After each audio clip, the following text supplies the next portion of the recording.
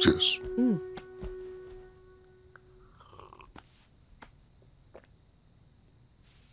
ഞാൻ ആലോചിക്കായിരുന്നു നമുക്ക് ആ കുഞ്ഞിനെ അഡോപ്റ്റ് ചെയ്താലോ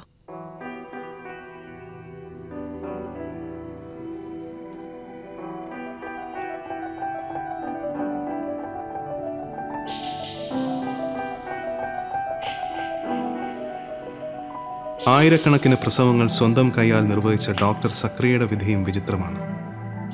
ഒരു കെട്ടുകഥ പോലെ തോന്നാം.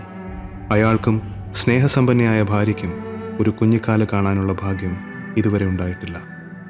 ഒരു കുഞ്ഞിനു വേണ്ടി എല്ലാവരും തന്നെ തേടി വരുമ്പോൾ ഡോക്ടർ ചിലപ്പോഴൊക്കെ ആലോചിക്കാറുണ്ട്. ഒരു കടങ്കഥ പോലെയുള്ള തന്റെ വിധിയെക്കുറിച്ച്.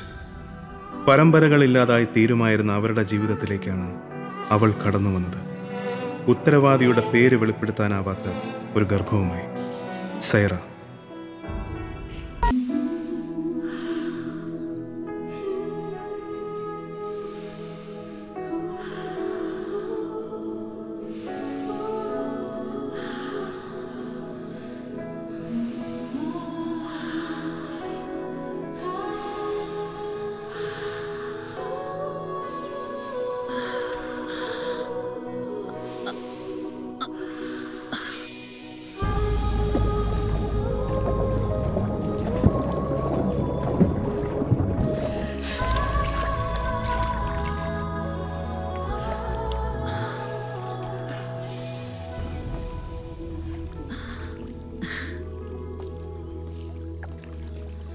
സിസ്റ്ററിനെ കൊണ്ടുവന്ന് ചെയ്യിക്കാൻ ആഗ്രഹം ഉണ്ടായിട്ടല്ല.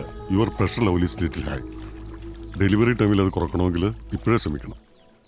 അങ്ങനെയാണെങ്കിൽ കൂടുതൽ സമയം ഇവിടെ പ്രാക്ടീസ് ചെയ്യാം. അതൊന്നും വേണ്ട. കടുത്ത എക്സസൈസുകൾ അബോഷന് സാധ്യത ഉണ്ടാക്കും. ഏയ് ഒന്നും സംഭവിക്കില്ലെന്നേ നമുക്ക് നല്ലത് നടക്കാനായിട്ട് പ്രാർത്ഥിക്കാം.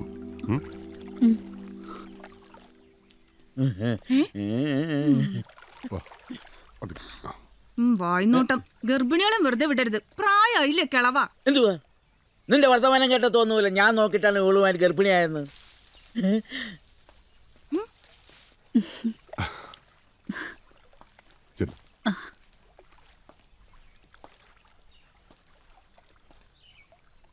സ്റ്റാഫ് ഒന്നും എത്തിയില്ലേ?